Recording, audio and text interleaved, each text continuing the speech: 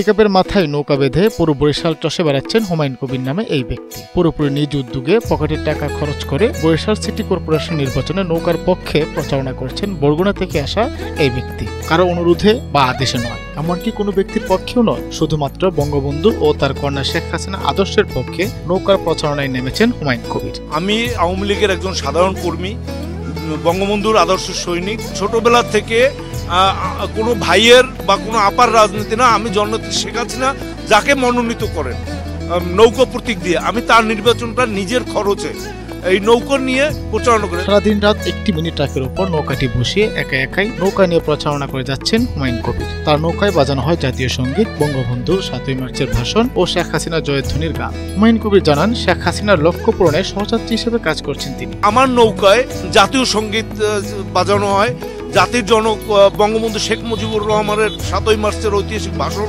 চালানো হয়।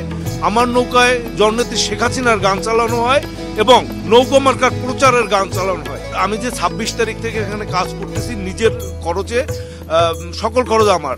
আমার মনে হয় এখানের যে হাজার হাজার আওয়ামী লীগের কর্মী আছে, ছাত্রলীগ, যুবলীগের কর্মী আছে, যারা নিষ্ক্রিয় ছিল, যারা কোনোভাবে চাপে ছিল, সেই লোকগুলো উদ্দীপিত হয়েছে। এবং তারা মাঠে সক্রিয়ভাবে কাজ করতেছে। তারা ভাবতেছে এটা, যে বরগুনা থেকে এসে এখানে একটা ব্যক্তি দিন রাত পরিশ্রম করে যাচ্ছে।